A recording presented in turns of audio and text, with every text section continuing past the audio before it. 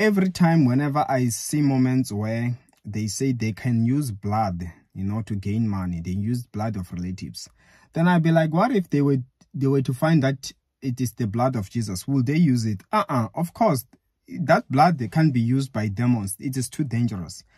Therefore, whoever wants to gain gains at your expense in your family or wherever using your blood, to spill your blood, to use it for sacrifices, to gain gains, wealth, money, I pray that may your blood surely be infused with the blood of Jesus.